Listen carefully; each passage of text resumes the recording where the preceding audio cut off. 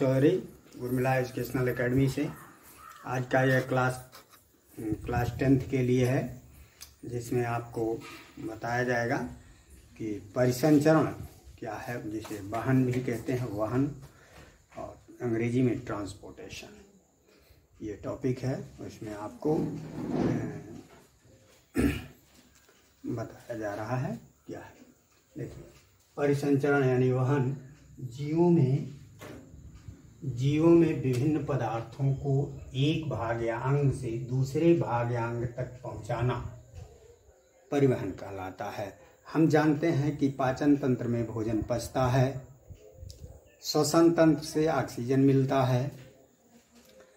यह ऑक्सीजन और भोजन प्रत्येक कोशिकाओं तक पहुंचाना होता है, जहाँ पर उनका स्वांगीकरण होता है। कुछ श्वसन से ऊर्जा निकलती है, कुछ वृद्धि विकास में खर्च होती है। वहाँ पर कुछ उत्सर्जी पदार्थ, वर्ज्य पदार्थ बन जाते हैं, जिन्हें उत्सर्जन अंगों तक पहुँचाना होता है। इन सभी कार्यों के लिए एक व्यवस्था होती है, ले जाने और ले जाने के लिए। इसी से में जो अंग सम्मिलित होते हैं, उन अंगों से मिलकर एक तंत्र बनता है। इसी तंत्र को हम परिसंचरण सरल प्रकार के जीवों में सभी कोशिकाएँ वातावरण के संपर्क में होती हैं और सीधे जो है विसरण विधि से सब कुछ आदान प्रदान हो जाता है। इसलिए सरल जीवों में, बहुत ही सरल अमीबा, पैरामेशियम स्पंजज हाइड्रा आदि में परिवहन तंत्र की आवश्यकता नहीं होती है। परंतु जटिल जीवों में जिनका शरीर बड़ा होता है जिनका शरीर जटिल संरचनाओं वाला होता है, वहाँ पर एक पदार्थ को भोजन मुख्य से पोषक पदार्थ, जल और ऑक्सीजन को कोशिकाओं तक पहुंचाना और कोशिकाओं से कार्बन डाइऑक्साइड वर्ज्य पदार्थ को उत्सर्जन अंगों तक पहुँचाने के लिए एक व्यवस्थित अंगों का तंत्र होता है। इसी को परिसंचरण तंत्र कहते हैं। विभिन्न जीवों में परिसंचरण तंत्र दो प्रकार का होता है। खुला परिसंचरण तंत्र, वह परिसंचरण तंत्र जिसमें रुधिर वाहिनियाँ नहीं होती हैं और उसका रुधिर जो है संपूर्ण शरीर में द्रव के रूप में भरा रहता है। ऐसे परिवहन तंत्र को हम खुला परिसंचरण तंत्र कहते हैं। कीटों में काकरोचेज में इनमें खुला परिसंचरण तंत्र पाया जाता है। इनके रुधिर का रंग लाल भी नहीं होता, क्योंकि इनके रुधिर में हीमोग्लोबिन नहीं पाया जाता। उसके स्थान पर हीमोसाइनिन पाया जाता है। दूसरा बंद परिसर क्लोज सर्कुलर सिस्टम जब जिन जीवों का रुधिर रुधिर वाहिनियों में बंद नलिकाओं में बहता है तो उसे हम बंद रुधिर परिसंचरण तंत्र कहते हैं। परिसंचरण तंत्र की आवश्यकता। जटिल जीवों में है। भोजन पदार्थों, पोषक पदार्थों, ऑक्सीजन को कोशिकाओं तक पहुंचाना तथा कोशिकाओं में बने कार्बन डाइऑक्साइड उत्सर्जी पदार्थों को उत्सर्जन अंगों तक पहुँचाने के लिए होता है। यह परिवहन की आवश्यकता है। अब हम देखेंगे मानव में परिसंचरण तंत्र। मानव में ह्यूमन में सर्कुलेटरी सिस्टम क्या है?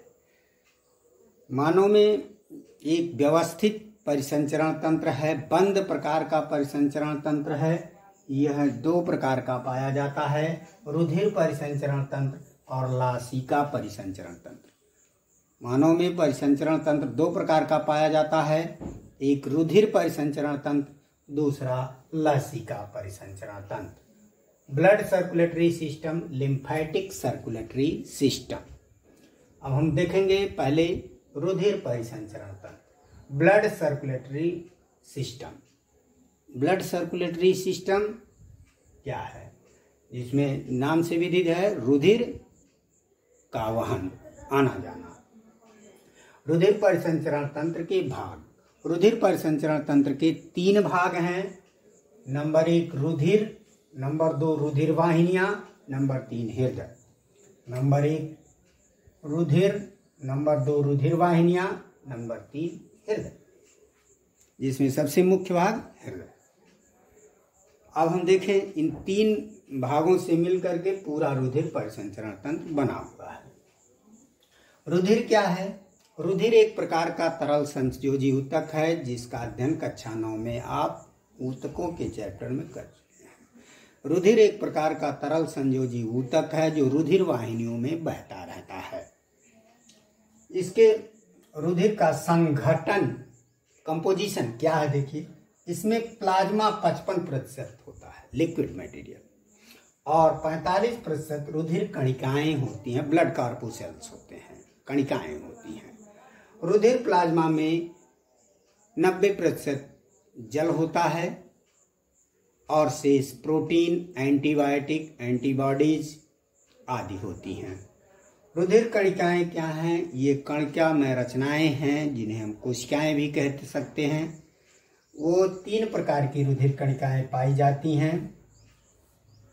आरबीसी लाल रुधिर कणिकाएँ डब्ल्यूबीसी श्वेत रुधिर कणिकाएँ प्लेटलेट्स। आरबीसी आरबीसी क्या है? यह लाल नाम से विदित है लाल, क्योंकि ये लाल होती है।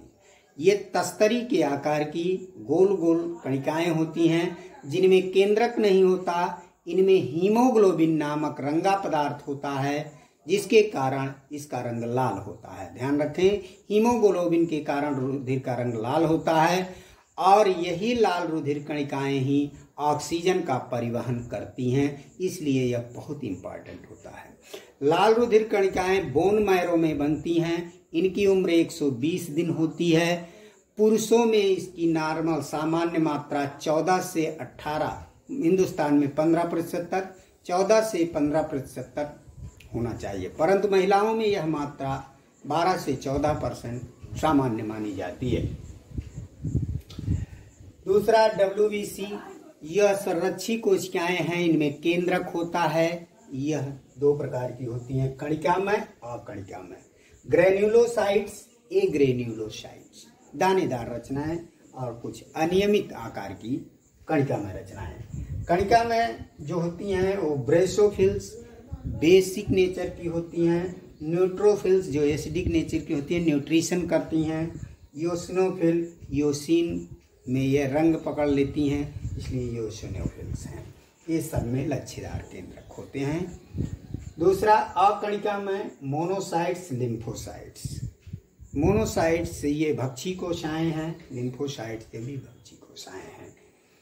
ये सब श्वेत रुधिर कणिकाएँ सुरक्षा तंत्र, प्रतिरक्षा तंत्र का निर्माण करती हैं। बाहर से आए हुए जीवाणुओं, हानिकारक पदार्थों, कीटाणुओं आदि का भक्षण करके हमारे शरीर को सुरक्षा प्रदान करती हैं, रोगों से बचाती हैं।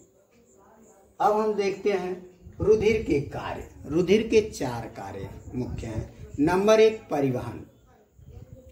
आँख से भोजन पदार्थ, फेफड़ों से ऑक्सीजन, तथा हार्मोन आदि को टारगेट कोशिकाओं तक पहुंचाती हैं, ग्राही कोशिकाओं तक पहुंचाती हैं।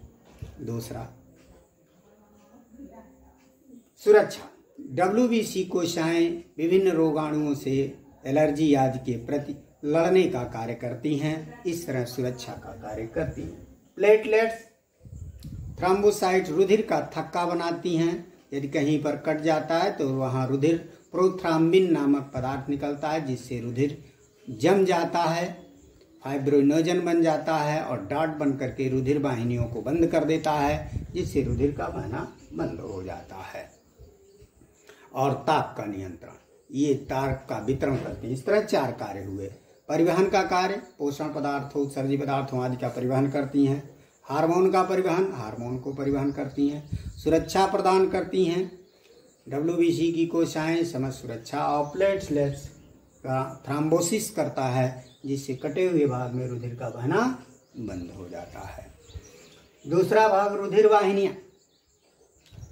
पतली पतली नलियाँ जिसमें रुधिर बहती हैं, उन्हें ब्लड वेसल्स या रुधिर वाहिनियाँ कहते हैं। यह तीन प्रकार की होती हैं, धमनियाँ, सिराएँ, केशिकाएँ। धमनियाँ आर्टरीज सिराएँ वेंस केशिकाएँ धमनियाँ वे रुधिर वाहिनियाँ हैं, जो रुधिर को हृदय से शरीर के विभिन्न भागों को ले जाती हैं। धमनिया वे रुधिर वाहिनियाँ हैं, जो रुधिर को हृदय से शरीर के विभिन्न भागों को ले जाती हैं। इनमें प्रायः शुद्ध रुधिर ऑक्सीजन युक्त रुधिर बहता है, फुसफुस धमनी को छोड़ करके। महाधमनी, फुसफुस महाधमनी प्रमुख धमनियाँ हैं। सिराएँ।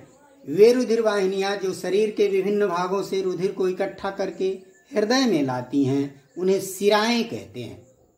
उन्हें सिराएँ कहते हैं। यह सिराएँ सिराओं में अशुद्ध रुधिर, कार्बन डाइऑक्साइड युक्त रुधिर रहता है, उत्सर्जी पदार्थों युक्त रुधिर रहता है, इसीलिए अशुद्ध रुधिर कहते हैं। और फुसफुस धमनी को छोड़कर, फुसफुस सिरा को छोड़कर से सभी सिराओं में अशुद्ध रुधिर रहता है। फुसफुस सिरा में शुद्ध रुधिर रहता है। केशिकाएँ जहाँ पर धमनियाँ जाकर शरीर के दूरस्थ भागों में, त्वचा के नज़दीक पतली पतली शाखाओं में बढ़ जाती हैं, वहीं से सिराएँ प्रारंभ होती हैं। तो केशिकाएँ पतली पतली सिराओं और धमनियों का जाल होता है। इनकी भित्तियाँ बहुत पतली होती हैं, इनमें छिद्र होते हैं। ये केशिकाएँ अब हम देखते हैं धमनी और सिरा में अंतर। ये लिखा गया, धमनी और सिरा में अंतर। धमनी आर्टरीज सिरा में धमनिया रुधिर को हृदय से शरीर के विभिन्न भागों में ले जाती हैं। सिराएँ रुधिर को, सिराएँ जो है रुधिर को शरीर के विभिन्न भागों से इकट्ठा करके हृदय में ले आती हैं। सिराओं में प्राय, धमनियों में शुद्ध रुधिर यानी ऑक्सीजन युक्त रुधिर बहता फुसफुस धमनी को छोड़कर। सिराओं में अशुद्ध रुधिर यानी कार्बन डाइऑक्साइड रुधिर बहता है, फुसफुस सिरा को छोड़कर। रुधिर धमनियों में अधिक दाब होता है, सिराओं में कम दाब होता है, जिसे प्रेशर कहते हैं। धमनियाँ प्रायः गहराई में पाई जाती हैं और सिराएँ प्रायः त्वचा के पास पाई जाती हैं। धमनियों की भित्ति मोटी होती है, सिराओं की भित्ति पतली होती है। धमनियों में जो लीमेन है, बीच में गुहा है सिराओं के अंदर पाइप जैसी नलियों जैसी रचना है। उसके अंदर को जो रिक्त स्थान है, गुहा है, वो कम होता है सिराओं में अधिक होता है। धमनियों में वाल्व नहीं होते सिराओं में वाल्व होते हैं जो हृदय की ओर खुलते हैं।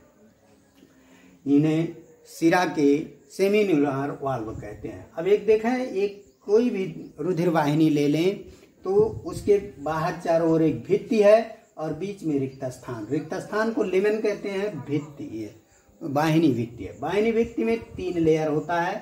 ट्यूनिका स्टर्ना जो बाहर होती है, मोटी होती है। ट्यूनिका मीडिका, मीडिया और ट्यूनिका स्टर्ना। आप देखा ये धमनी है, इसकी ये लीमेन पतली है, इसकी लीमेन ज़्यादा है, इसकी भित्ति मोटी है, इसकी भित्ति पतली है। इस तरह से ये धमनी और सिरा में अंतर हो गया। नेक्स्ट वीडियो में हम देखेंगे हृदय की संरचना और उसकी कार्यविधि।